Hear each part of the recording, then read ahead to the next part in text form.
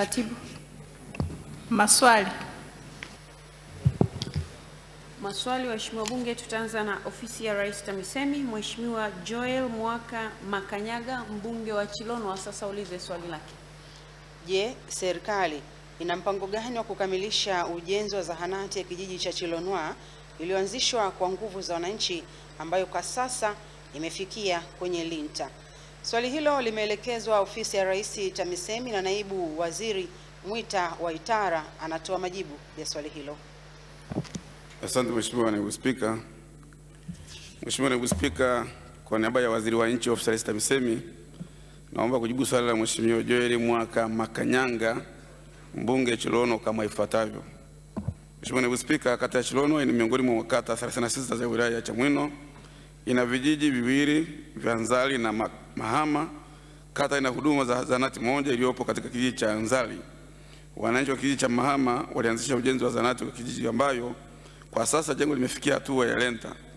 Katika kuunga mkono juhudi za wananchi, halmashauri ya Chamwino katika mwaka wa fedha 2019/20 kupitia mapato yake ya ndani imetenga shilingi milioni 30 kwa ajili ya kukamilisha ujenzi wa zahanati hiyo katika kijiji cha Mahama. Asante. Mheshimiwa Joel Makanyaga, swali la nyongeza.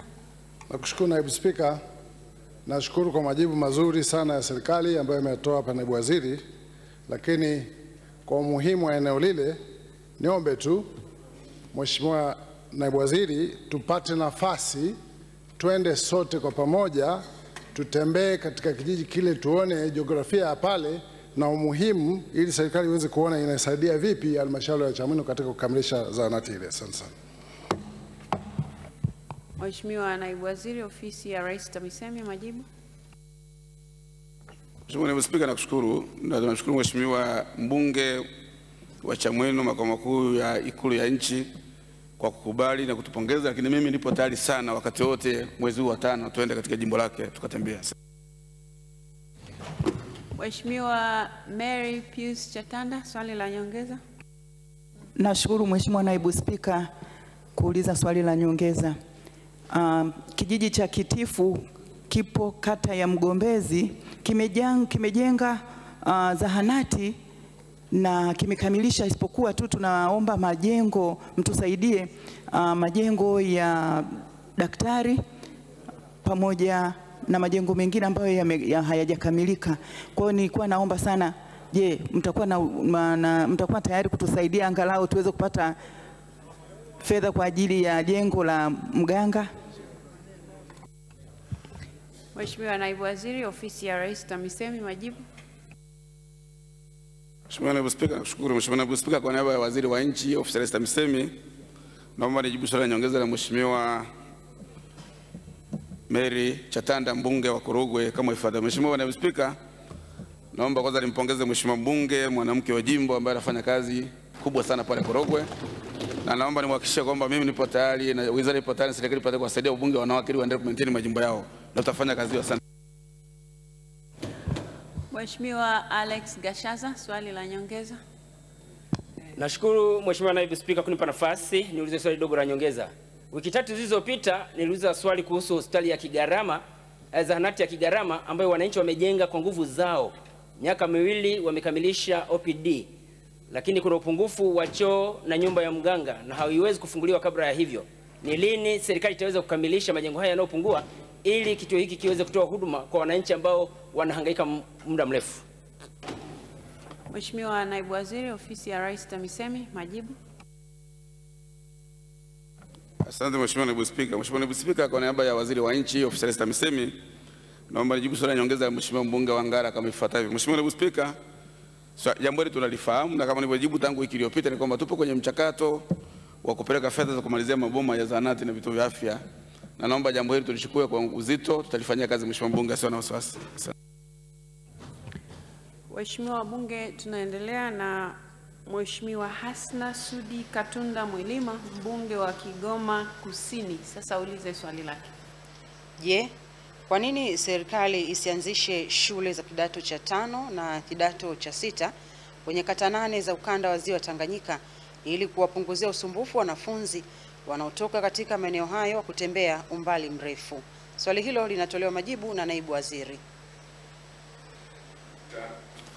Mheshimiwa Naibu Spika, kwa niaba ya Waziri wa Nchi, Ofisi ya TAMISEMI, naomba kujibu swali la Mheshimiwa Hasna Sudi Katumba Mwilima, mbunge wa Kigoma Kusini, yenye sehemu A na B kama ifuatavyo. Ah, Mheshimiwa Naibu Spika, halmashauri ya wilaya ya Uvinza inaundwa na tarafa tatu za Nguruka, Ilagala na Buhingu.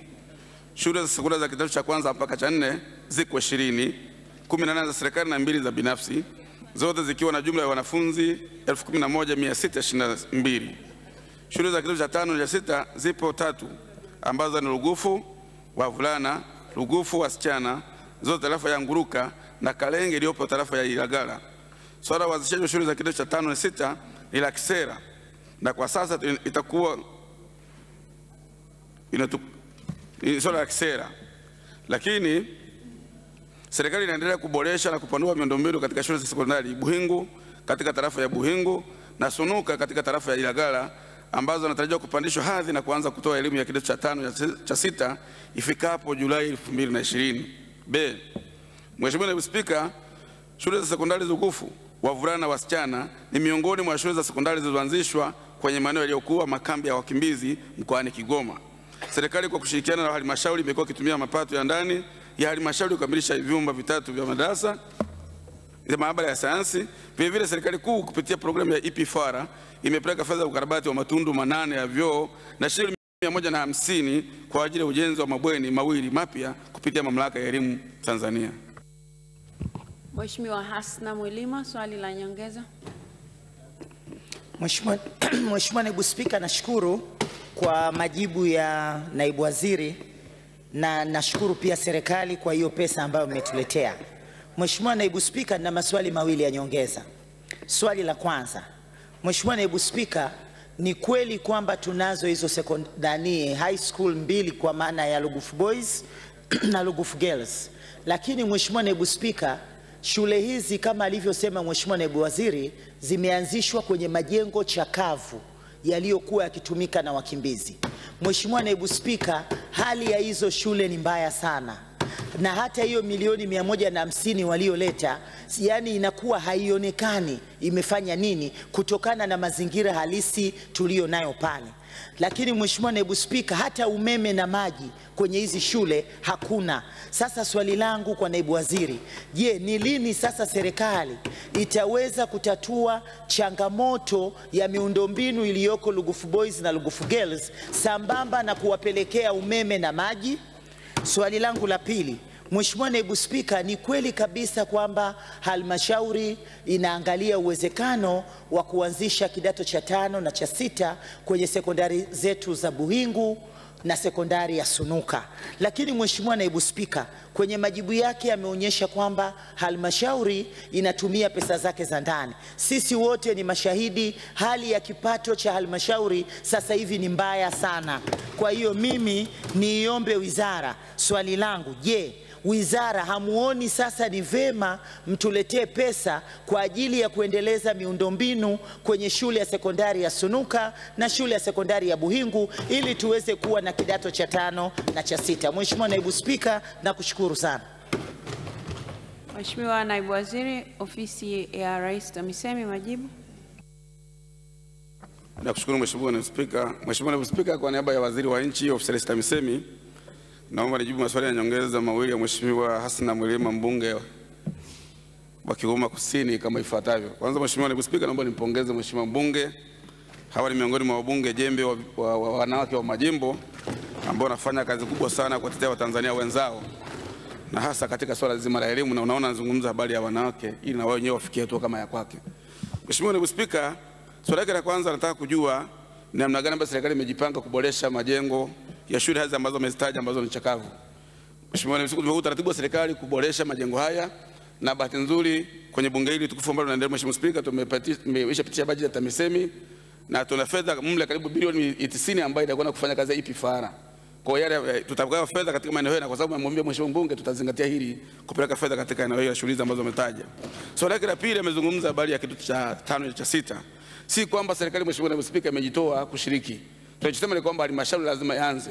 Kuna mambo ya msingi, kwa mfano ardhi, hiyo na umiliki, hatuna fedha kulipa fidia, lakini wachangie kupitia mapato yao ya ndani, na sisi kama wizara tunaongezea pale na kuboresha pamoja na kupeleka wataalamu na maabara zingine. Kwa hiyo tutachangia jambo hili ili walianzishe, lakini kipaumbele ni kwamba kila tarafa angalau na high school moja. Lakini niombe kusema Mheshimiwa Naibu Spika ni kwamba ni muhimu tungeomba kuhimiza pamoja na kuanzisha shule za kidato cha tano cha sita, lakini ukweli ni kwamba hizi shule ni shule za kitaifa. Ikianzishwa maana yake tutapeleka watoto kutoka nchi nzima. Kwa unaweza miundo miundombinu nyingine ili watoto wa eneo lile kama ni Uvinza unataka kuwasaidia Nguruka, ni muhimu kuhimiza elimu ya msingi, sekondari, alafu wengine tunaenda huko mbele. Asante Mheshimiwa Naibu Spika. Waheshimiwa wabunge, niwakumbushe kuuliza maswali mafupi ili watu wengi wapate fursa. Ukiuliza kwa kirefu, maana yake nitakukata hapa mbele. Mheshimiwa uh, Selemani Moshi Kakoso, swali la nyongeza. Mheshimiwa Naibu Spika, nashukuru kunipa nafasi. Halmashauri ya wilaya ya Tanganyika wamejitahidi sana kwa kushirikiana na wananchi, wamejenga shule za sekondari zipatazo sita, lakini kwa bahati mbaya sana bado baadhi ya majengo hayajapata kuwezekwa. Kwa hiyo tulikuwa tunauliza serikali wana mchango gani wa kuwasaidia hao wananchi ambao wametumia nguvu kubwa ili waweze kukamilisha hayo majengo. Mheshimiwa Naibu Waziri, Ofisi ya Rais TAMISEMI, majibu. Asante Mheshimiwa Naibu Spika. Mheshimiwa Naibu Spika, kwa niaba ya Waziri wa Nchi, Ofisi ya Rais TAMISEMI, naomba jibu la nyongeza ya Mheshimiwa Kakoso kama ifuatavyo. Mheshimiwa Naibu Spika, mwezi wa pili mwanzoni tumepeleka fedha zaidi ya shilingi bilioni 29.9 kumalizia majengo kwa maana ya maboma katika shule za sekondari, na ninaamini halmashauri karibu zote, kuna baadhi ya maeneo tu hatukupeleka, lakini maeneo mengi tumepeleka. Lakini kama nilivyosema kwenye, kwenye jibu langu la msingi ni kwamba vile vile mwaka huu wa fedha tuna miradi mingi ya fedha ambazo zipo kwenda kupangilia maboma. Sasa kama kuna changamoto eneo hili kama alivyosema Mheshimiwa mbunge, tutazingatia maombi yake ili tuweze kumalizia majengo haya na watoto wetu waweze kukaa sehemu salama na waweze kujipatia elimu kama ambavyo ndio makusudio na matarajio ya serikali ya awamu ya tano. Asante. Mheshimiwa Nagenjwa Kaboyoka, swali la nyongeza. Asante sana naibu spika kwa kunipa nafasi hii.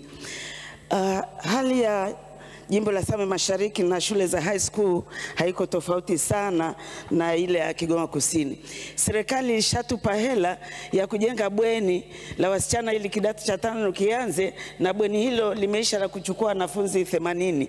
Sasa hivi wananchi wameshatengeneza matofali na kumaliza na wanaanza ujenzi wa kupandisha madarasa mawili ili form 5 ianze. Je, serikali inaweza kutusaidia katika uh, vile vifaa kama mabati na kumalizia umeme? Asante. Mheshimiwa Mheshimiwa Naibu Waziri, nadhani ma, maswali mengi yanahusu nguvu za wananchi ambao wamefikia hatua fulani, na kwa hivyo nadhani ukitoa jibu la ujumla ili wabunge wapate picha kwamba hatua ambazo wananchi wamezifikia huko, serikali itachukua hatua gani, kwa sababu unaona maswali mengi yako hapo kwenye kuhusisha nguvu za wananchi, lakini pia kuona mchango wa serikali utakuwa ni nini kwenye hizo nguvu ambazo wananchi wameshazitoa.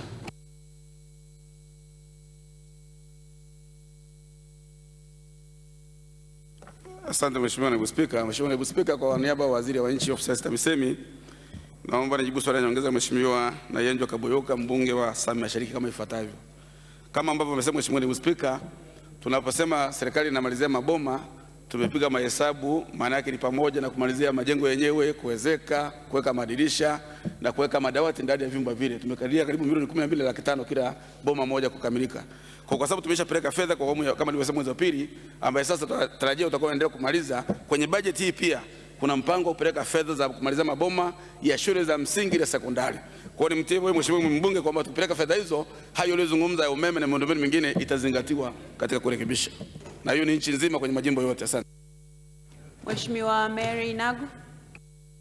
Mheshimiwa Naibu Spika, nakushukuru sana kunipa nafasi. Mara chache nimeuliza kwenye sehemu ya walimu. Mheshimiwa Naibu Spika, nataka kuuliza kwa nini kwenye shule za halmashauri na nje ya halmashauri walimu wanatengwa na wake zao wanapelekwa shule nyingine hata zaidi ya kilomita mia moja.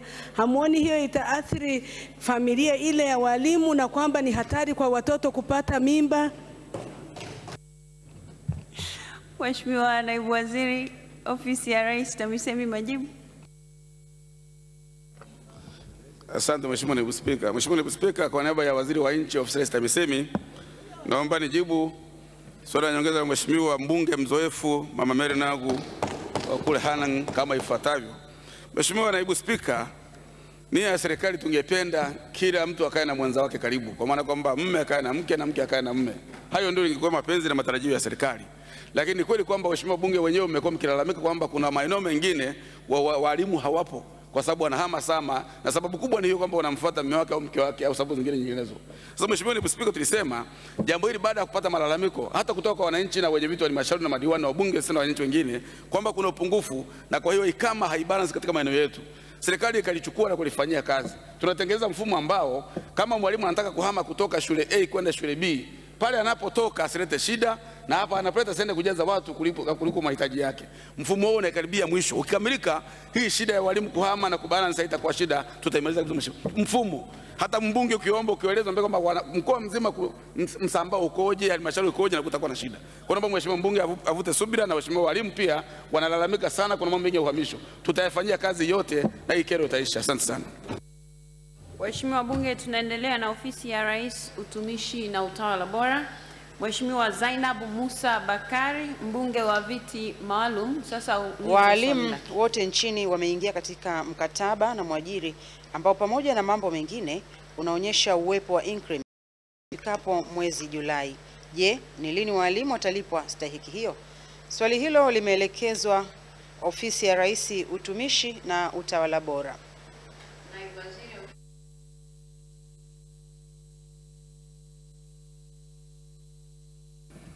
Nakushukuru Mheshimiwa Naibu Spika. Mheshimiwa Naibu Spika, kwa niaba ya, ya, ya Waziri wa Nchi, Utumishi wa Umma na Utawala Bora, naomba nijibu swali la Mheshimiwa mbunge wa viti maalum Zainabu Musa Bakari kama ifuatavyo. Mheshimiwa Naibu Spika, serikali imekuwa ikitekeleza miongozo mbalimbali iliyowekwa kuhusu maslahi ya walimu ikiwa ni pamoja na kutoa nyongeza za mwaka za mishahara kulingana na utendaji mzuri wa kazi na kuzingatia tathmini ya utendaji kazi ya kila mwaka. Mheshimiwa Naibu Spika, kwa mujibu kanuni ya E91 ya kanuni za kudumu katika utumishi wa umma za mwaka 2009 toleo la tatu, nyongeza ya mwaka ya mishahara haipaswi kuombwa au kudaiwa na walimu, bali serikali ndiyo yenye uamuzi wa kutoa au kutotoa nyongeza hiyo kutokana na sera za kibajeti kwa mwaka husika. Mheshimiwa Naibu Spika, watumishi wa umma wakiwemo walimu wanastahili kupewa nyongeza za mwaka ya mshahara iwapo bajeti ya mishahara inaruhusu. Kutokana na ufinyu wa bajeti, nyongeza hiyo haikutolewa kwa watumishi katika mwaka wa fedha 2013 na 14 2000 sorry 2003 na 2004 2004 na 2005 2008 na 2009 2011 12 2012 13 na 2016 na 17. Hata hivyo, kwa kutambua utendaji mzuri wa kazi, serikali ya awamu ya tano ilitoa nyongeza ya mwaka ya mshahara kwa watumishi wote wakiwemo walimu katika mwaka wa fedha 2017 na 18. Mheshimiwa Naibu Spika, ninapenda kuliarifu bunge la- lako tukufu kuwa serikali itaendelea kutoa nyongeza ya mwaka ya mshahara kwa watumishi wote kadri uwezo wa kulipa utakavyoruhusu. Hata hivyo, walimu hawapaswi kudai malimbikizo ya nyongeza ya mwaka ya mshahara kwa miaka ambayo nyongeza hiyo haikutolewa. Asante. Mheshimiwa Zainab Bakari, swali la nyongeza. Asante Mheshimiwa Naibu Spika, sijaridhika na majibu ya serikali. Ni takriban miaka sita au saba huko nyuma, ni kwamba hizo nyongeza hazitolewi na serikali. Hatuoni kwamba serikali inafanya makusudi kufinya bajeti ili kuwakosesha walimu hao nyongeza hizo za mishahara. Mheshimiwa Mwenyekiti, swali langu la pili, kama kama hii ipo kisheria, ni kwa nini serikali inashindwa kutoa hiyo nyongeza wa, ya mishahara na mara ya mwisho imetoa lini? Mheshimiwa Naibu Waziri, Ofisi ya Rais TAMISEMI, majibu. Nakushukuru Mheshimiwa Naibu Mheshimiwa Naibu Spika, kwa niaba ya Waziri wa Nchi, Utawala Bora na, na Utumishi wa Umma, naomba nimjibu Mheshimiwa mbunge maswali yake ya nyongeza kama ifuatavyo. Mheshimiwa Naibu Spika, nimesoma hapa kwenye jibu la msingi kwamba kulingana na kanuni za kiutumishi ambazo watumishi wote Tanzania wana, sio walimu tu, watumishi wote wanajua kwamba serikali inapanga kwa mkoa. Kwa mfano mwaka huu wa fedha 1920 kwenye bajeti yetu, kama hatukuingiza kipengele cha nyongeza ya mishahara ambacho mnajua kuna tamko limetolewa pale mlikuta Mosi, maana yake ni kwamba mwaka huu kama wataongezwa mishahara halipaswi kuwa deni. Hili kwa mujibu wa kanuni za kiutumishi, watumishi wote wanajua. Baada ya serikali kutathmini, tumesema mara ya mwisho mishahara hii nyongeza mishahara imetolewa mwaka 2017 18. Kwa hiyo hili kimsingi sio deni. Serikali inapanga kulingana na mapato yake, kama kuna uwezo wa kuongezwa unaongezwa, na haya haipaswi kuwa malalamiko. Mheshimiwa Naibu Spika, naomba kuwasilisha.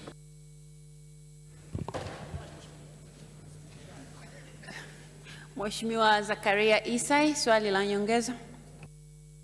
Nashukuru sana Mheshimiwa Mwenyekiti kwa kunipa nafasi, Mheshimiwa Naibu Spika kwa kunipa nafasi. Pamoja na ma majibu mazuri ya serikali, moja ya tatizo linalopoteza morality ya utendaji kazi katika watumishi wetu wa umma ni pamoja na kuto kuwekwa wazi namna ambavyo serikali italipa madeni ya huko nyuma ya watumishi wetu. Na kwa kuwa jambo hili watumishi wanapokosa moyo wa kufanya kazi, je, serikali haioni sasa ni wakati mwafaka wa kukaa na vyama vya wafanyakazi ili waweze kuona namna gani ya kutatua tatizo hili la madeni ya huko nyuma ili, mtumi, ili watumishi wetu wote waweze kufahamu namna ambavyo serikali kama mlezi wao na mwajiri wao itawatendea katika jukumu hili la kulipa madeni. Mheshimiwa Naibu Waziri, Ofisi ya Rais TAMISEMI, majibu. Mheshimiwa Naibu Spika, nakushukuru. Mheshimiwa Naibu Spika, kwa niaba ya Waziri wa Nchi, Utawala Bora na Utumishi wa Umma, naomba nijibu swali la nyongeza ya Mheshimiwa Masai mbunge wa Mburu kama ifuatavyo. Mheshimiwa Naibu Spika, serikali imeshafanyia kazi madai ya, wa, ya walimu na watumishi wengine na naisha kutana na, na, na, na, na viongozi wa vyombo vya wa- vya wafanyakazi na utaratibu upo kuweza kulipa fedha hizi, na sasa hakuna mgogoro kati ya serikali na madeni yanajulikana.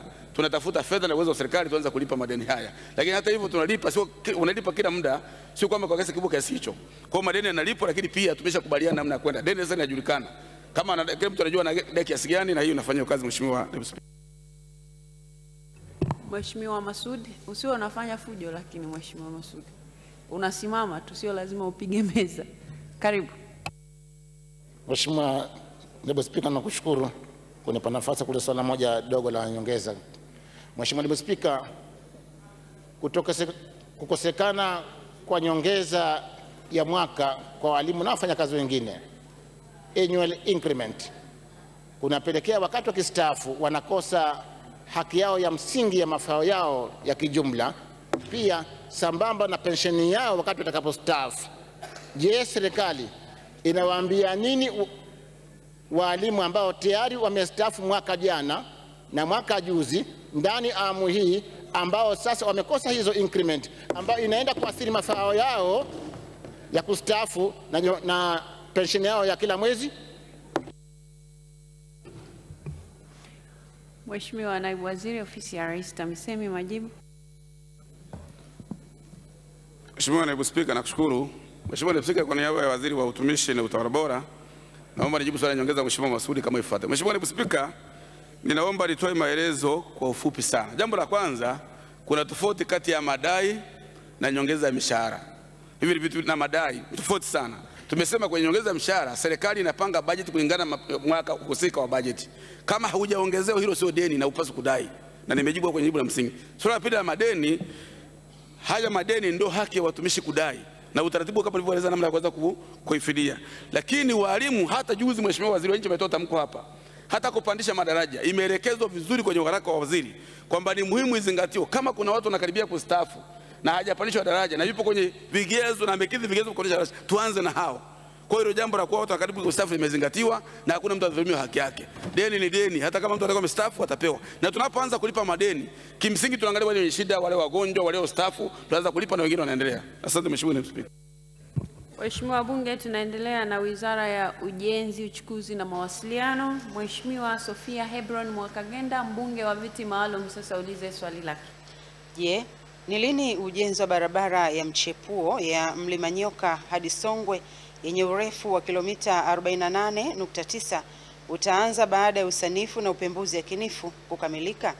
Swali hilo limeelekezwa Wizara ya Ujenzi, Uchukuzi na Mawasiliano na naibu waziri anakwenda kutoa majibu ya swali hilo. Mheshimiwa Naibu Spika, Kwa niaba ya Waziri wa Ujenzi, Uchukuzi na Mawasiliano, naomba kujibu swali la Mheshimiwa Sofia Hebron Mwakagenda, mbunge viti maalum kama ifuatavyo. Mheshimiwa Naibu Spika, mradi wa ujenzi wa barabara ya Mchepue inayoanzia Uyole, yani Mlima Nyoka hadi Songwe eh, kilomita 48.9 ni mahususi kwa ajili ya kupunguza msongamano wa magari katika barabara kuu ya Tanzam katika jiji la Mbeya. Mheshimiwa Naibu Spika, upembuzi na usanifu wa kina wa barabara hii ulikamilika chini ya usimamizi wa ofisi ya Rais TAMISEMI. Hata hivyo, ilionekana kuwa ipo haja ya kufanya mapitio ya usanifu huo ambapo katika mwaka wa fedha 2018-19 kiasi cha shilingi bilioni 2.6 kimetengwa kwa ajili ya kupitia na kukamilisha usanifu huo. Mheshimiwa Naibu Spika, mradi huu umeingizwa kwenye mradi wa ukarabati wa barabara kuu ya Tanzam kuanzia Igawa hadi Tunduma unaofadhiliwa na Benki ya Dunia kwa kushirikiana na serikali. Mheshimiwa Naibu Spika, mkataba ulisainiwa tarehe 18 Disemba mwaka 2018 kati ya wakala wa barabara Tanzania TANROADS na mhandisi mshauri Studi International ya Tunisia ikishirikiana na Global Professional Engineering Service ya Tanzania kwa ajili ya kazi ya mapitio ya usanifu wa kina wa barabara hii. Kazi hii inatarajiwa kukamilika tarehe 18 Februari mwaka 2020. Hadi sasa mhandisi mshauri yupo eneo la mradi anaendelea na kazi. Mheshimiwa Naibu Spika, kazi ya upembuzi yakinifu na usanifu wa kina wa barabara hii itakapokamilika na serikali kupata fedha, ujenzi wa barabara kwa kiwango cha lami utaanza. Mheshimiwa Sofia Mwakagenda, swali la nyongeza. Mheshimiwa Naibu Spika, kutokana na jibu la msingi la wizara, nataka kujua, je, serikali haioni kwamba inapoteza muda katika utekelezaji wa miradi mbalimbali hususani miradi ya barabara kwa kufanya upembuzi yakinifu, usanifu kwa muda mrefu? Moja. La pili, Mheshimiwa Naibu Spika, barabara hii ni barabara muhimu sana katika uchumi wa mkoa wa Mbeya na mkoa wa Songwe. Je, yeah, hawaoni kuna umuhimu wa kuongeza muda wa kufanya kazi kwa haraka ili hii barabara iweze kukamilika na wananchi wa mikoa hii miwili waweze kufaidika katika ujenzi wa kiuchumi katika taifa hili la Tanzania? Asante. Mheshimiwa Waziri wa Ujenzi, Uchukuzi na Mawasiliano, majibu. Mheshimiwa Naibu Spika, naomba kujibu maswali mawili ya Mheshimiwa Mwakagenda kama ifuatavyo. Upembuzi yakinifu, usanifu wa kina, utaratibu wa manunuzi na ujenzi ni utaratibu wa kimataifa, na maana yake ni kuhakikisha kwamba hiyo kitu inaitwa value for money inapatikana vizuri, kwa sababu msipofanya taratibu mkaainisha mahitaji yote, matokeo yake ndio kufanya upembuzi ambao ni pungufu, na mkiingia tenda mnaweza msipate value for money. Lakini hoja yako ya kwenda haraka, serikali inaenda haraka ili kuhakikisha, na sehemu kubwa ni msongamano wa pale Mbeya mjini. Ndio maana tunataka kuchepusha ili tutajenga mchepuo kwa ajili ya malori, lakini na pale katikati kwa ajili ya kupanua ili msongamano usio mkubwa pale mjini Mbeya.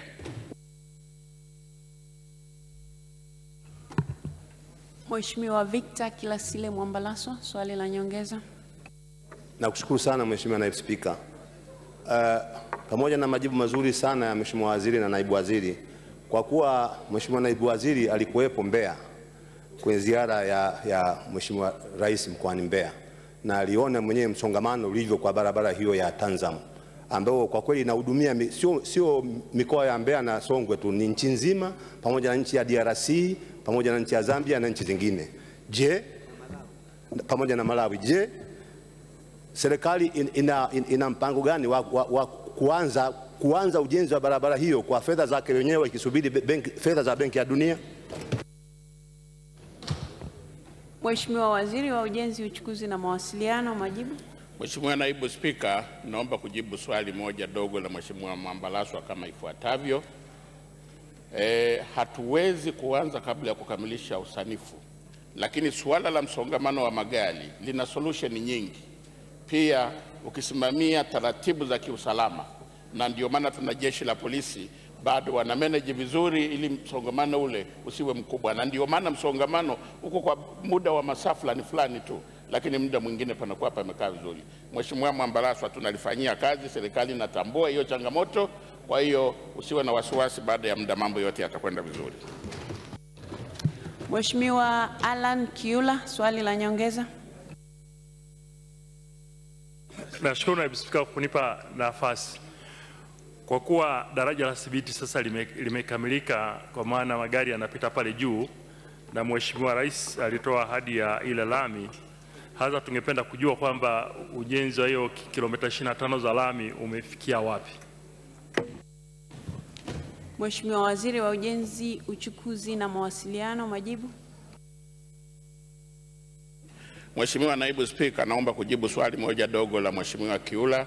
Ni kweli kabisa kwamba daraja la Sibiti limekamilika na tayari tumesaini mkataba na mkandarasi yule yule ili aweze kujenga zile kilomita 25 za lami. Kwa hiyo Mheshimiwa, fedha ipo na mkandarasi yupo na mkataba umesainiwa, anaendelea kujenga kwa kiwango cha lami kilomita 25.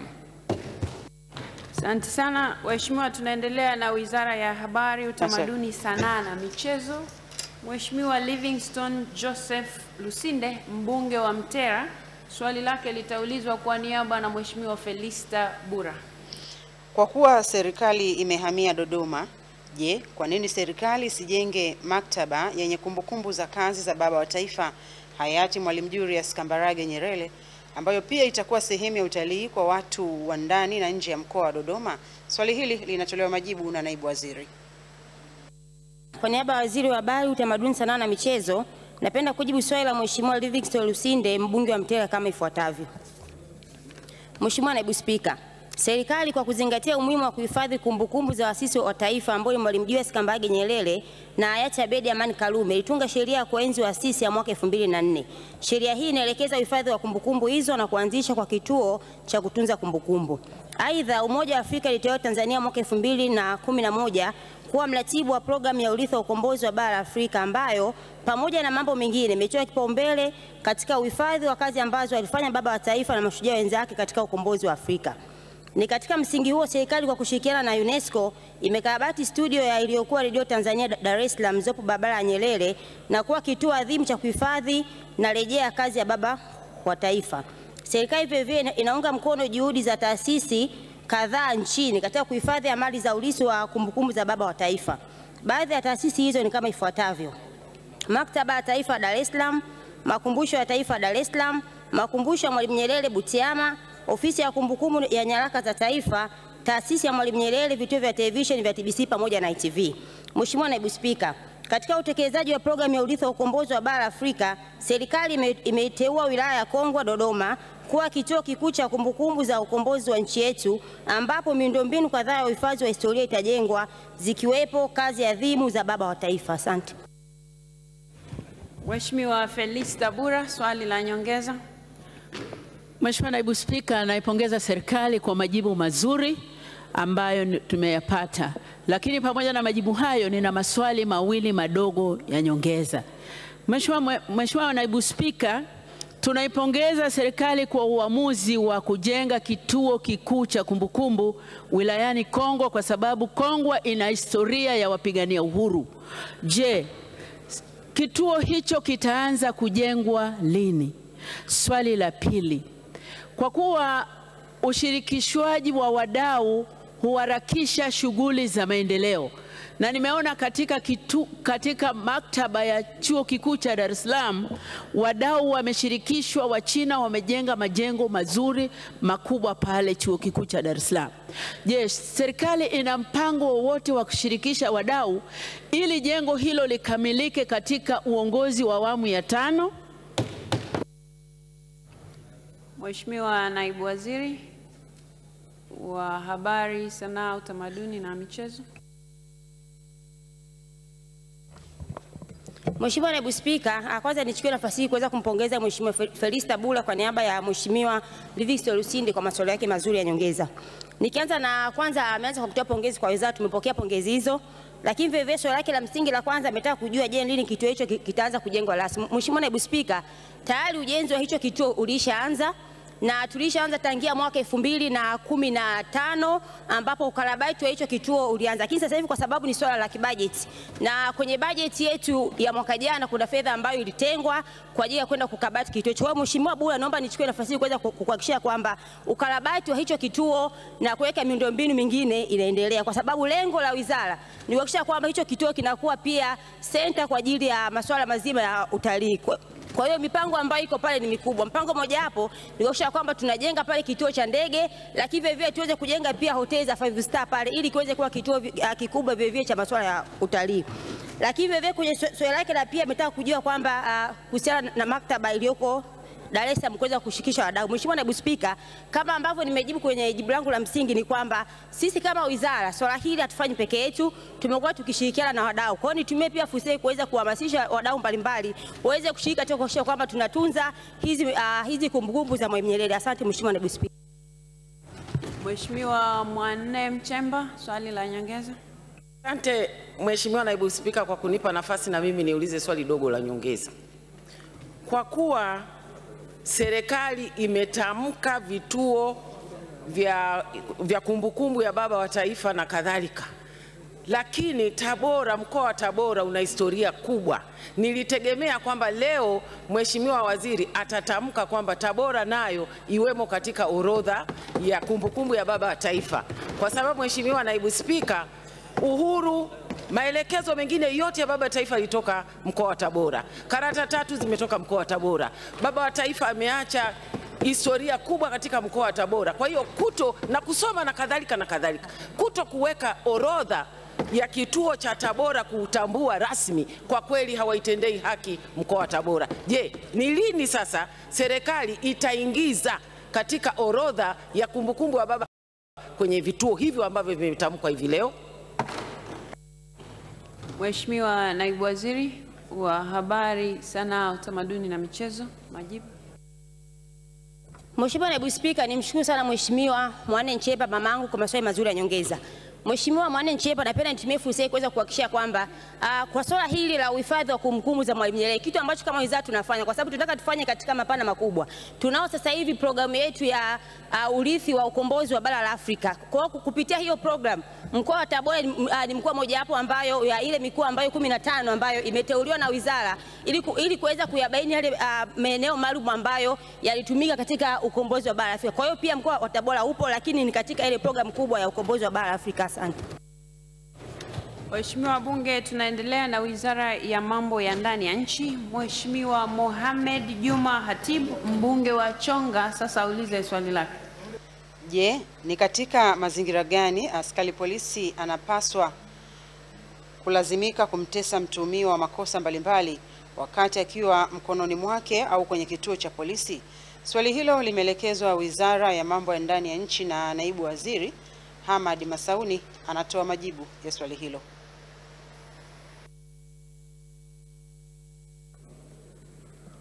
Mheshimiwa Naibu Spika, kwa niaba ya Waziri wa Mambo ya Ndani ya Nchi, napenda kujibu swali la Mheshimiwa Mohamed Juma Hatibu, mbunge wa Chonga kama ifuatavyo. Mheshimiwa Naibu Spika, kwa mujibu wa sheria ya mwenendo wa makosa ya jinai sura 20 kifungu cha 11 kinaeleza namna ya ukamataji. Aidha, kifungu hiki mahsusi cha ukamataji akimruhusu askari kumpiga au kumtesa mtumiwa kwa makosa mbalimbali wakati akiwa mikononi mwa polisi au kwenye kituo cha polisi. Mheshimiwa Naibu Spika, kanuni za kudumu za utendaji wa Jeshi la Polisi PGO zinakataza na, kuele, na, ku, na kuelekeza utendaji mzuri wa askari polisi ambapo askari yote atakapobainika kufanya vitendo vya kumpiga au kumtesa mtuhumiwa huchukuliwa hatua za kinidhamu ikiwemo kufukuzwa kazi na au kufikishwa mahakamani. Mheshimiwa Mohamed Hatibu, swali la nyongeza. Eh, pamoja na majibu hayo, lakini nasema kwamba e, kwa mujibu wa mwenendo wa, wa, wa makosa ya jinai pamoja na kuwepo na ut, kanuni katika utendaji wa jeshi la polisi, bado jambo hili linaonekana kuendelea na ni sugu sana. Je, serikali haioni kwamba iko haja ya kubadili mfumo wa utendaji wa polisi likaingizwa suala la haki za binadamu ili kwa conscientize polisi katika utendaji wao wa kazi wakazizingatia hizo haki za binadamu. Lakini pili, kwa kuwa katiba yetu inakuba, ina, inakataza uteswaji na pia kwa, kwa, kwa kuwa kuna, um, kuna mkataba, kwa mkataba wa kimataifa Convention Against Torture. Je, serikali haioni kwamba iko haja ya, ya kuridhia mkataba huu ili hawa watu wanaoteswa wakapata fursa ya kwenda kushtaki ma, katika mahakama za kimataifa? Asante sana.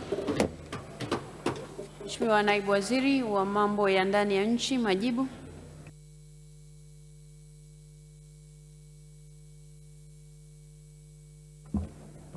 Mheshimiwa Naibu Spika, napenda kujibu maswali mawili ya nyongeza ya Mheshimiwa Mohamed Atibu Bunge jim, eh, kama ifuatavyo. Mheshimiwa Mheshimiwa Naibu Spika, eh, kuhusiana na, na, na pendekezo lake la kubadili mfumo, tunadhani tatizo sio mfumo.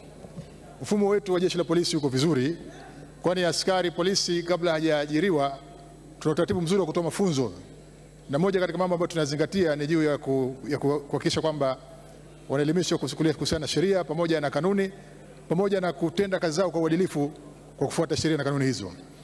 Lakini inapotokea changamoto ambazo zinahusu e, ukiukwaji wa sheria, ni matatizo ya baadhi ya askari moja moja ambayo kama nilivyozungumza katika swali langu la msingi, swali lake la msingi kwamba tunapogundua kwamba kuna askari ambaye anafanya vitendo hivyo e, vya kunyanyasa raia, huwa tunachukua hatua mbalimbali ikiwemo ku- kuwashtaki na kuwa- na kuwa- na kuwafukuza kazi. Kwa hiyo kimsingi e, kwa maelezo hayo naona nimejibu maswali yote- yote mawili kwa pamoja. Mheshimiwa Aida Kenani, swali la nyongeza. Mheshimiwa Naibu Spika, nakushukuru. Mheshimiwa Naibu Spika, kumekuwa na malalamiko kwa watuhumiwa wanaokuwa wanateswa wakiwa mikononi mwa polisi kwa lengo la kulazimishwa kusema ukweli, hasa ule ambao polisi wanautaka, wakati mtuhumiwa ana haki ya kutoa kutoa hoja yake au kuzungumza ukweli akiwa na wakili au mahakamani. Je, serikali haioni ni muda mwafaka wa kufuatilia mateso haya ambayo watumiwa wanapewa na askari ili kuondoa malalamiko haya? Mheshimiwa Naibu Waziri wa Mambo ya Ndani ya Nchi, majibu.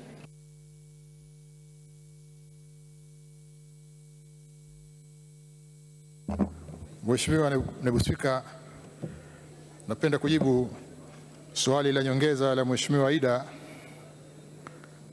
e, mbunge kama, kama ifuatavyo. Mheshimiwa Naibu Spika, kwa mujibu wa, wa sheria ya ushahidi ya, ya, ya, she- ya mwaka 2067 kifungu cha 31 inaeleza kuhusu namna ambavyo polisi wanawe, wana, wana, wana, wanaweza kutumia e, nguvu kiasi katika kumhoji mtuhumiwa ili waweze kupata ushahidi, lakini sheria hiyo hiyo inaeleza kwamba ushahidi ambao utapatikana si lazima uwe mahakama uzingatie. Mahakama itazingatia ukweli wa jambo husika. Kwa tafsiri yake ni nini? Tafsiri yake ni kwamba ina, ina, ina, kuwa discourage polisi kutumia nguvu katika kupata ushahidi, na nimezungumza katika jibu la, la, la msingi la swala la mwanzo kwamba tunapogundua kwamba kuna raia ambaye amefanyiwa vitendo ambavyo si vya kibinadamu na polisi, basi sisi huwa tunachukua hatua na tuna, tunaomba tutoe wito kwa, na rai kwa wananchi wote.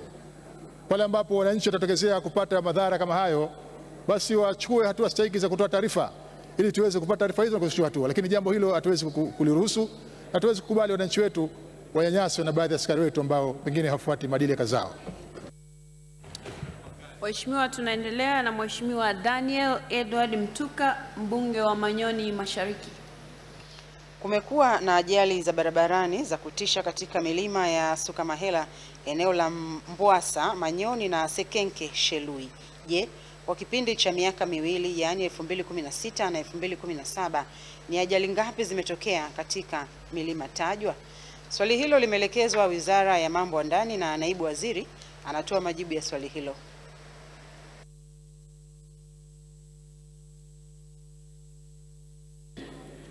Napenda kujibu swali la Mheshimiwa Daniel Edward Mtuka, mbunge wa Manyoni Mashariki lenye sehemu A, B na C kama ifuatavyo. Mheshimiwa Naibu Spika, jumla ya ajali 28 zimetokea katika kipindi cha miaka miwili, yani tarehe moja Januari 2016 mpaka tarehe 31 Disemba 2017 katika sehemu hiyo ambayo Mheshimiwa mbunge ametaja. B, jumla ya watu 33 wamepoteza maisha na jumla ya watu 26 walijeruhiwa katika kipindi tajwa. C, serikali kupitia jeshi la polisi inataka madereva kuwa makini wanapoendesha vyombo vya moto barabarani na wazingatie sheria, kanuni, taratibu na alama na michoro ya barabarani, na pia waendeshe kwa kuzingatia udereva wa kujihami ili kuepusha ajali, kwani ajali nyingi zinazotokea katika maeneo haya zinasababishwa na uzembe wa madereva, ubovu wa magari, uchofu wa madereva, hususan kwenye uwepo wa kona kali, milima na miteremko mikali. Mheshimiwa Daniel Mtuka, swali la nyongeza.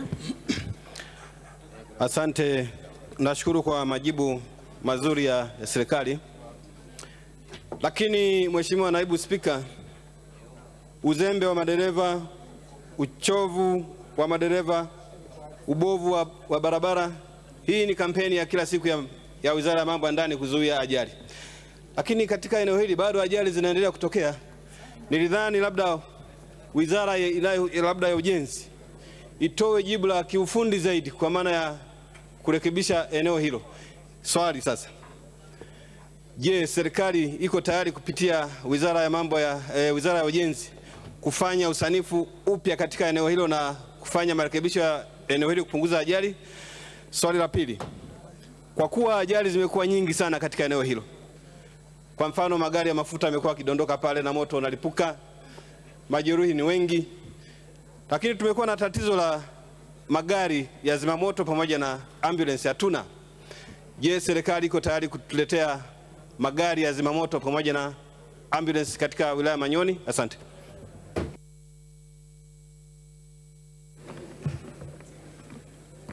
Mheshimiwa Naibu Waziri wa Ujenzi, Uchukuzi na Mawasiliano, majibu.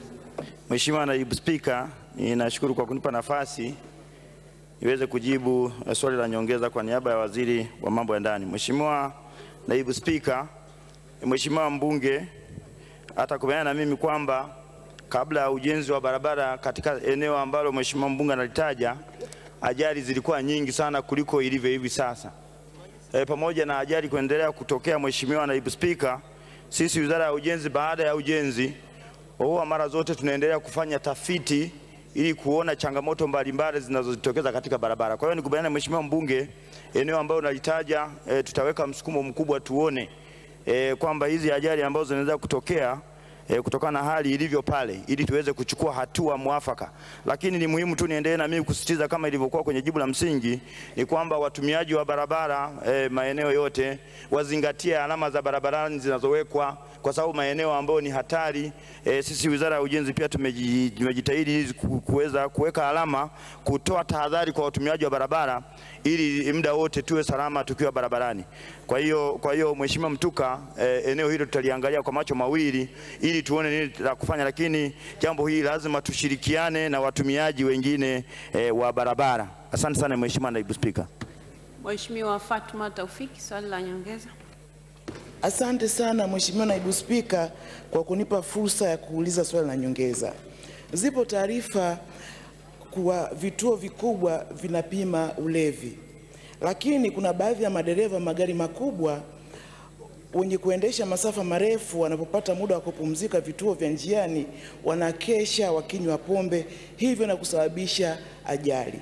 Je, serikali ina mkakati gani wa kuwadhibiti madereva hawa ili kupunguza ajali za barabarani?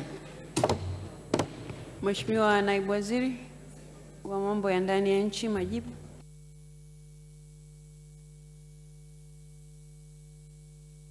Mheshimiwa Naibu Spika, napenda kujibu swali la Mheshimiwa Fatma Taufiki, mbunge wa viti maalum kwa Dodoma kama ifuatavyo. Mheshimiwa Naibu Spika, hatua ambazo tunachukua katika kudhibiti madereva walevi nikiwemo kusimamisha magari ya hasa hayo ambayo yamezungumza yanabeba abiria na mizigo na kuwapima vilevi, na tumekuwa tukifanya kazi hiyo maeneo mbalimbali nchini na kwa kiwango kubwa tumefanikiwa kupunguza kwa kiasi kubwa aina ya madereva ambayo wanaendesha magari hali ya kuwa wamelewa, na pale ambapo tunawabaini basi hatua za kisheria zinachukuliwa dhidi yao.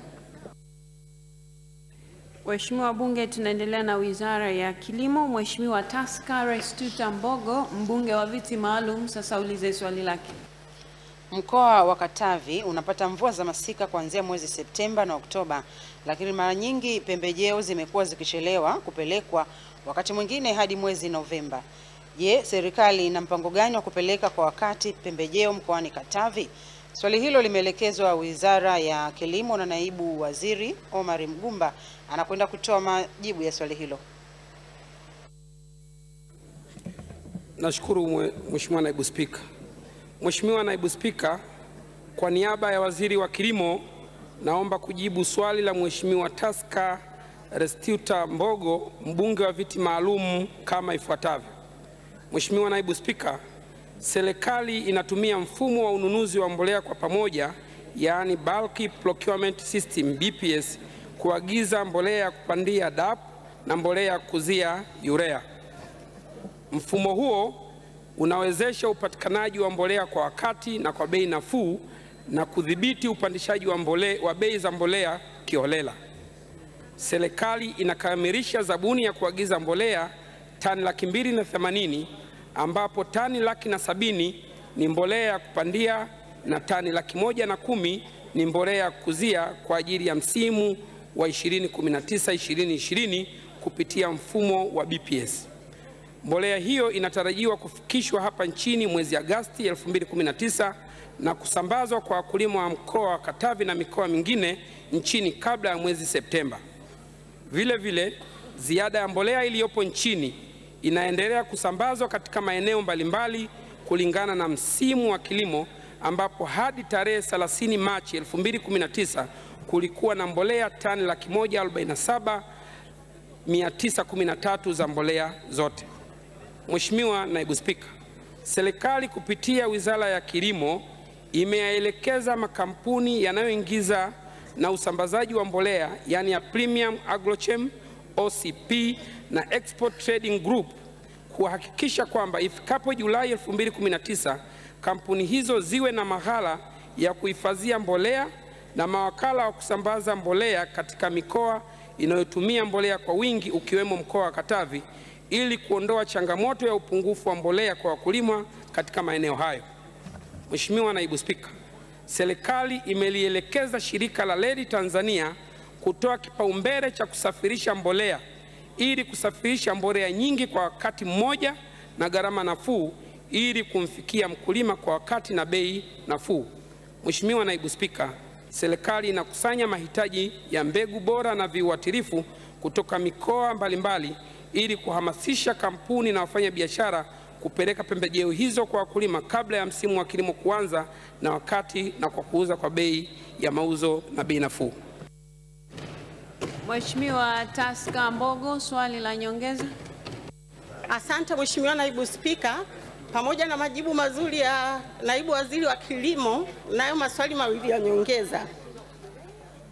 Kwa kuwa mfumo wa uagizaji wa mbolea kwa pamoja unatumika tu kwa mbolea za dapu na yulea, je, ni kwa nini sasa serikali isitumie mfumo huu kwa kuagiza mbolea nyingine za NPK, CAN, SA na pembejeo nyinginezo? Swali la pili, kwa kuwa mkoa wa Katavi ni umbali wa kama kilomita 1500 kutoka Dar es Salaam, kwa hiyo mbolea inaposafirishwa na magari inakuwa na bei juu zaidi. Ni kwa nini sasa serikali isiweke utaratibu wa kusafirisha mbolea hiyo kwa njia ya treni ili mkulima wa mkoa wa Katavi apate bei nafuu ya mbolea? Asante sana Mheshimiwa Naibu Waziri Kilimo, majibu.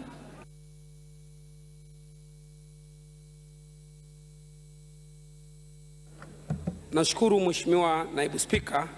Kwa niaba ya Waziri wa Kilimo, napenda kujibu maswali mawili ya nyongeza ya Mheshimiwa Taska Mbogo kama ifuatavyo.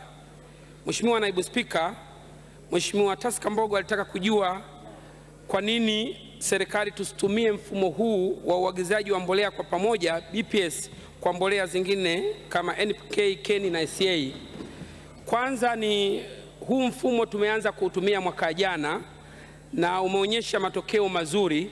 Tusingeweza kuagiza kuingiza mbolea zote kwa wakati mmoja, lakini baada ya mafanikio tuliyoyaona katika mfumo huu tumeshaanza tangu mwaka, mwaka huu kwa ajili ya mbolea za NPK kwenye wakulima wa tumbaku ambao tumeingiza kwa mfumo huu, na sasa tutaendelea na utaratibu ili kuingiza na mbolea hizi na viuatilifu vingine na pembejeo zingine katika mfumo wa BPS ili kurahisisha upatikanaji wa mbolea kwa wingi, kwa pamoja, kwa haraka na bei nafuu.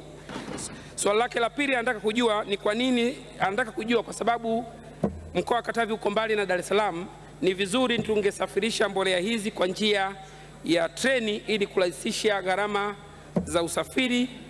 Tunachukua mawazo hayo na tulishafanyia kazi tangu mwaka jana. Kama nilivyosema, hii mbolea NPK tuliitumia kwa kusafirisha kwa kutumia treni na bei gharama za usafiri zilishuka na mbolea hii kufika kwa wakulima kwa wakati, na mawazo hayo tunachukua ili tuhamishie katika mazao mengine. Kama nilivyojibu kwenye swali langu la msingi, tayari tushaelekeza shirika letu la reli Tanzania ili kutoa kipaumbele kwenye kusafirisha bidhaa mbolea ili kushusha gharama za usafiri. Mheshimiwa Joram Hongoli, swali la nyongeza. Asante sana Mheshimiwa Naibu Spika kwa kunipa niweze kuuliza swali la nyongeza. Mheshimiwa Naibu Spika, zaidi ya asilimia 75 ya, ya wananchi wa Tanzania ni wakulima na wanaishi maeneo ya vijijini, na hawa wafanyabiashara aliowataja Mheshimiwa Naibu Waziri wanaonunua wenye makampuni wanaonunua hizi mbolea wamekuwa wakinunua na kuziweka hizi mbolea mjini, na inawapasa wakulima sasa watoke vijijini kwenda kununua hizo mbolea mjini, kiswa kitu ambacho kimekuwa kiwasababishia gharama za mbolea kupanda sana. Je, serikali na mkakati gani wa kuhakikisha kwamba hizi mbolea zinapatikana kwenye kata au kwenye tarafa? Kwa mfano halmashauri ya Njombe tuna magara, maeneo mengi ya Njombe kuna magara kwenye kata hizi.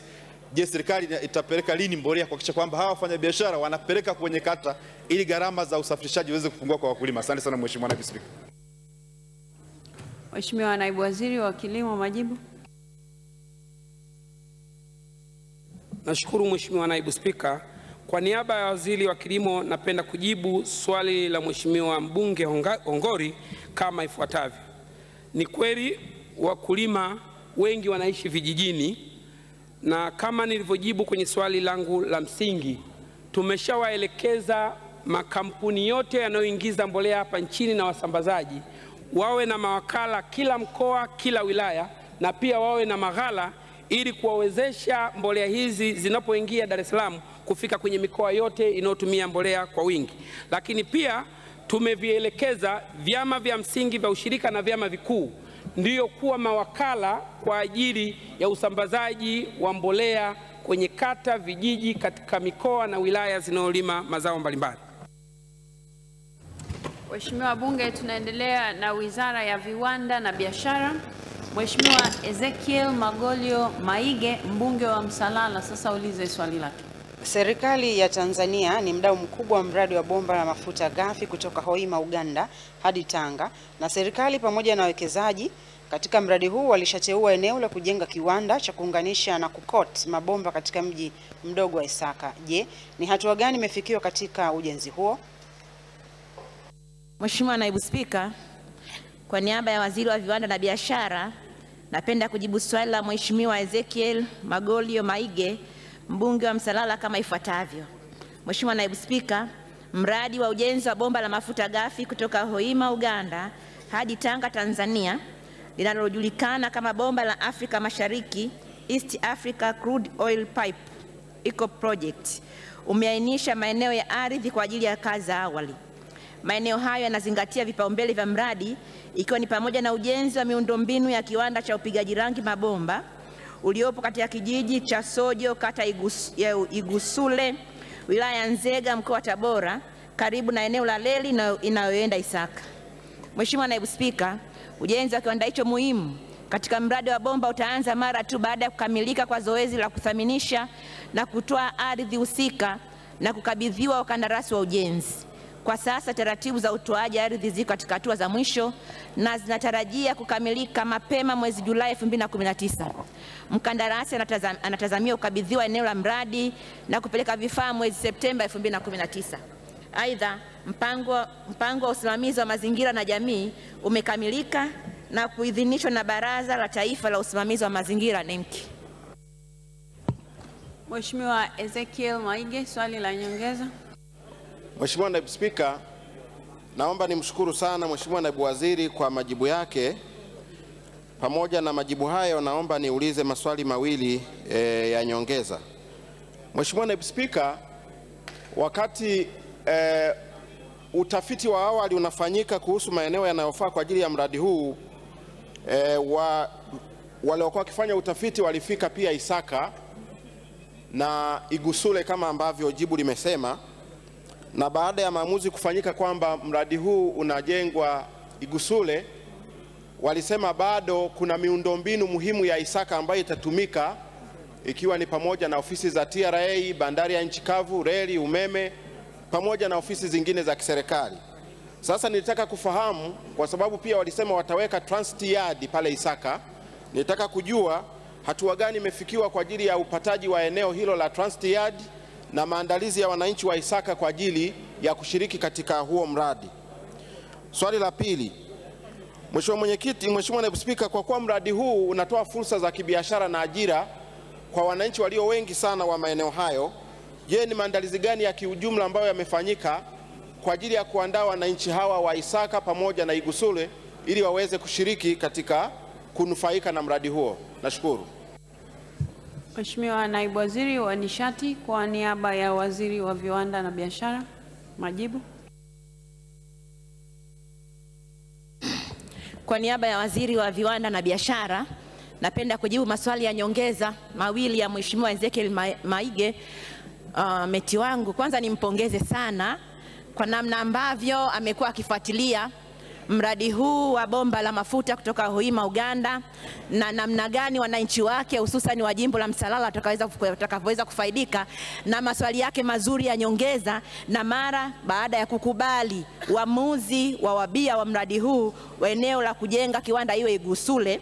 Sasa kwa kuwa swali lake la, la, maswali yake ya nyongeza yamehusiana na miundombinu mingine, ni kweli tafiti mbalimbali zimeendelea kufanyika kuuisha miundombinu mbalimbali ikiwemo reli ikiwemo na, uh, na ofisi mbalimbali za kiserikali itakavyotumika katika mradi huu, na nimthibitishie Mheshimiwa mbunge kwamba katika eneo la Isaka hapo pia pitajengwa ofisi ya, ya mradi huu ya ECOP na, na, na, na miundombinu mingine. La pia wananchi wake na, na yeye mwenyewe anajua Mheshimiwa mbunge, eneo la Igusule ni kama kilomita tano tu kutoka Isaka. Kwa hiyo ni wazi kabisa wananchi wa maeneo ya Isaka na maeneo mengine ya- mkoa wa Shinyanga pamoja na mkoa wa Tabora watapata fursa mahususi kabisa katika mradi huu ikiwemo ajira na ma- masuala mengine ya kibiashara. Na mpaka sasa mradi huu umeajiri takriban Watanzania 229 kwa hizi hatua za awali, lakini kuna makampuni nane yanatoa huduma mbalimbali katika mradi huu, lakini pia faida zake mojawapo ni ya utoaji wa ajira utakapoanza. Na Mheshimiwa Naibu Spika, ni kutaarifu tu kwa sasa na nitaarifu bunge lako tukufu, mazungumzo yanaendelea na kwamba hatua ambayo imefikiwa sasa hivi ndi tume, tumefika mbali na tunatarajia mradi huu kuanza mwezi Septemba 2019. Kwa hiyo utakapoanza utaleta uta tija kubwa na faida kwa wananchi wa mikoa nane iliyopitiwa na bomba hili, wilaya 24, kata 134 na vijiji 280. Mheshimiwa Naibu Spika, nakushukuru. Mheshimiwa Waziri wa Nchi, Ofisi ya Waziri Mkuu. Mheshimiwa Naibu Spika, pamoja na majibu mazuri sana yaliyosemwa na Mheshimiwa Naibu Waziri, Mheshimiwa Naibu Spika, naomba niwathibitishie waheshimiwa wabunge, serikali kwa kutambua umuhimu wa mradi wa bomba hilo la mafuta na jinsi litakavyoweza kukuza ajira na uchumi wa taifa letu, Ofisi ya Waziri Mkuu imeandaa programu maalumu ya local content na tumeanza mafunzo maalum katika mikoa hiyo yote nane ili kuwahabarisha wananchi katika mikoa hiyo ni namna gani wanaweza wakatumia fursa mbalimbali ambazo zitapatikana katika mradi huo muhimu. Nitoe wito kwa wabunge wote ambao wanatoka katika mikoa ambayo inapitiwa na bomba hilo tuweze kuwasiliana ndani ya ofisi ya waziri mkuu ili kuwaweka pamoja wananchi wao waweze kufaidika na mradi wa bomba la mafuta katika fursa mbalimbali zitakazopatikana. Asante sana Mheshimiwa Ali Saleh, swali la nyongeza. Asante. Pamoja na majibu yaliyotolewa na Mheshimiwa Jenista na Mheshimiwa Naibu Waziri, swala la local, local content ni muhimu sana katika nchi yoyote ili uchumi ubakie ndani na sio utoke nje, lakini inahitajia maandalizi kama alivyosema. Sasa hivi sasa tuna sectoral individual uh, local content policies. Je, serikali iko tayari sasa kuja na va, eh, sera kubwa na mabadiliko ya sheria juu ya local content, na pia sheria hiyo iwemo na vifungu ambavyo vinaweza kuwawezesha wananchi kifedha ili wafaidi local content. Mheshimiwa Waziri wa Nchi, Ofisi ya Waziri Mkuu, majibu. Mheshimiwa, Mheshimiwa Naibu Spika, ninakushukuru kwa swali la nyongeza lililoulizwa na Mheshimiwa Al Saleh na Mheshimiwa Al Saleh anafahamu kwenye kamati ya Bunge ya Katiba na Sheria tumekuwa tukitoa taarifa hizi. Mheshimiwa Spika, Mheshimiwa Naibu Spika, tumeshaanza hiyo kazi nzuri. Baadhi ya sheria ambazo zimekwisha kutungwa, kwa mfano sheria ya mafuta na gesi, hizo zote zimesha zimeshawekewa misingi ya kisera ya local content na imeshaanza kufanya kazi kwenye kanuni na sheria hizo, lakini naomba nimhakikishie, ili kufanya maandalizi hayo muhimu, ofisi ya waziri mkuu imeshatoa mwongozo wa local content katika miradi yote ya kimkakati ambayo inaendelea kwa sasa ndani ya taifa letu. Kwa hiyo hii miradi yote, ujenzi wa reli na miradi mingine yote mikubwa ya kimkakati, sasa hivi mwongozo wa local content umekuwa ukitole, umekuwa ukitumika, na sisi kama ofisi ya waziri mkuu kupitia Baraza la Uwezeshaji Wananchi Kiuchumi tunasimamia kwa karibu sana kuhakikisha wazawa wanafaidika na miradi hii mikubwa ya kimkakati ndani ya taifa letu. Mheshimiwa Zedi. Asante Mheshimiwa Naibu Spika. Mheshimiwa Naibu Spika, hili eneo la Sojo kata ya Igusule ambako pameamliwa kujengwa kiwanda hiki liko jimboni kwangu. Wananchi wametoa ekari mia nne ili kupisha ujenzi wa kiwanda hichi muhimu, na kwa kuwa majibu ya Mheshimiwa Waziri wamesema mwezi wa tisa ambayo ni miezi minne tu kutoka sasa, mkandarasi anakabidhiwa eneo. Je, nilitaka kujua kwamba serikali ita, inaweza kutoa commitment kwamba kabla ya ndani ya kipindi cha miezi minne kabla mkandarasi hajapewa hilo eneo, wananchi wote waliotoa ekari mia nne watakuwa wamelipwa fidia zao. Mheshimiwa Naibu Waziri wa Nishati, kwa niaba ya Waziri wa Viwanda na Biashara, majibu. Mheshimiwa Naibu Spika, kwa niaba ya Waziri wa Viwanda na Biashara, napenda kujibu swali la Mheshimiwa mbunge wa jimbo la Bukene Mheshimiwa Zedi swali lake la nyongeza. Kwanza na yeye pia nimpongeze Mheshimiwa mbunge kwa kufuatilia mradi huu mkubwa wa ujenzi wa bomba hili la mafuta na tija yake kwa wananchi wa maeneo yake hayo, kwa eneo ambalo limechaguliwa kujenga kiwanda cha kuunganisha mabomba, lakini nataka nimthibitishie ni, ni Mheshimiwa mbunge, moja ya kazi muhimu ambayo imefanyika ni kutambua Mkuza ambako bomba litapita, na tunatambua bomba hili ambalo litakuwa na urefu wa kilomita 1445 na zaidi ya, zaidi ya kilomita hizo 1147 ziko upande wa Tanzania.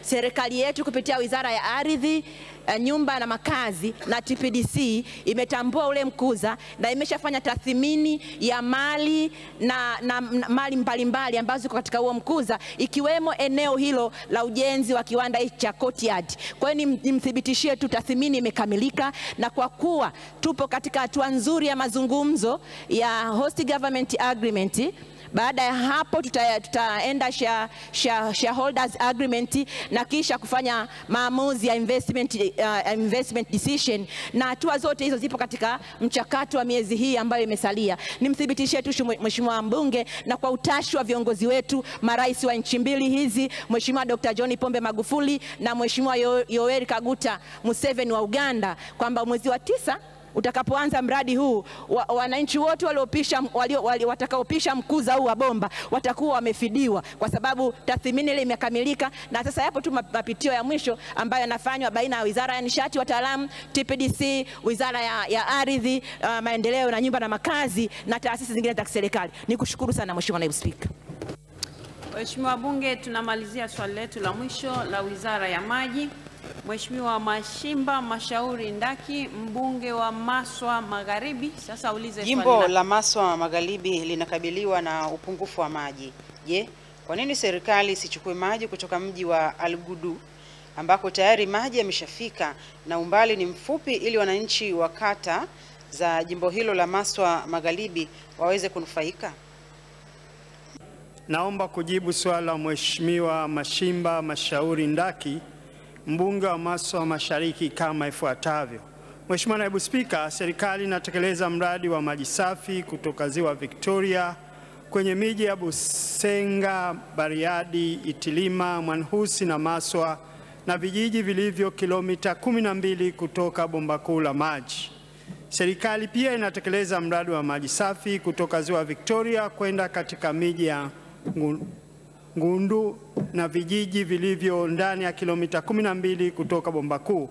Vijiji hivyo ni, hivyo ni Runele, Ngatuli, Nyangonge, Damhi na Chibuji.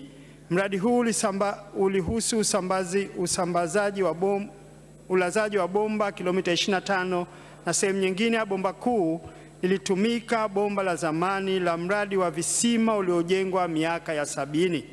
Bomba hilo ni le- lenye kipenyo cha nchi nane na kulingana na usanifu halitoshi kupanua zaidi kwenda Malampaka. Mheshimiwa Naibu Spika, serikali kupitia programu ya maendeleo ya sekta ya maji imetekeleza miradi ya maji ya Malampaka, Sayusayu, Mwasai, Njia Panda na Sanga Mwalugeshi ambayo miradi hii imekamilika na wananchi wanapata maji safi na salama. Serikali pia imekamilisha usanifu na uandaaji wa makabrasha zabuni kwa miradi ya maji ya Mwabulimbi, Mwamanege na Badi ambao utahudumia vijiji vitatu vya Muhiba, Jihu na Badi yenyewe. Mheshimiwa Mashimba Ndaki, swali la nyongeza. Nakushukuru sana Mheshimiwa Naibu Spika kwa kunipa muda niulize swali, maswali mawili ya nyongeza. Nishukuru pia kwa majibu ya Mheshimiwa Waziri, lakini nilikuwa na ushauri mmoja na swali moja. Ushauri, kwa kuwa serikali imeamua kutoa maji kutoka kwenye maziwa makuu kama ziwa Victoria na maziwa mengine ili kuwapa wananchi wake maji ya kutosheleza. Ingekuwa vizuri sasa inapobuni miradi hii ikafikiria kuwapa maji watu wanaohusika, lakini pia ikafikiria mbele uhitaji wa maji jinsi ulivyo mkubwa kwenye nchi yetu. Mfano huu mradi wa maji wa Ngudu kama unge, ungebuniwa vizuri ungeweza kabisa kutoa maji kwenye vijiji na kata nilizozitaja. Kwa hivyo inapobuni miradi ifikirie kupeleka mradi kwa watu wengi zaidi. Swala, swala langu la pili, Mheshimiwa Naibu Spika, kwa kuwa pia nilishapeleka andiko kwa ajili ya kupata maji ya Ziwa Victoria kutoka wilaya ya Kishapu kwenda kata ya Seng'wa yenye vijiji vya Seng'wa, Mwanundi, Mandela, Mwabomba na, na Seng'wa yenyewe. Ni lini sasa wizara itaweka pesa kwenye mradi huu ili uweze kutekelezwa? Mheshimiwa Waziri wa Maji, majibu.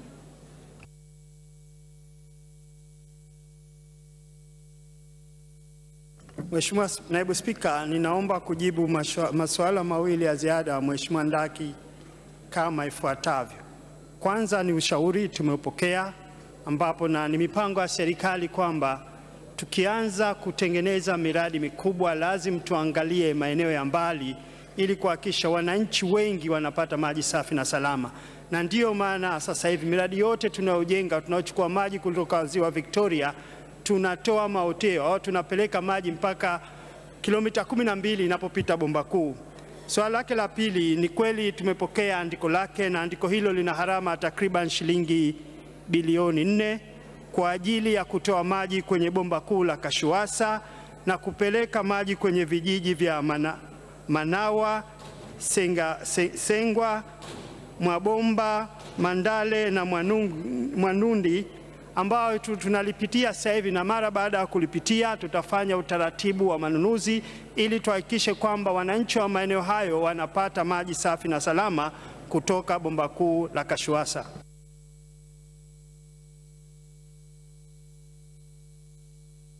Waheshimiwa wabunge, tumefikia chetu cha maswali.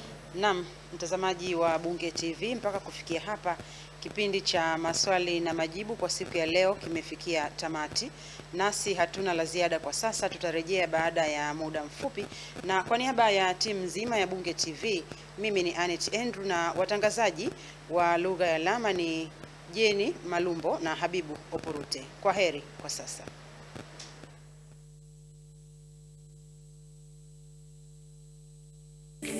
Chako, chako, chako, chako.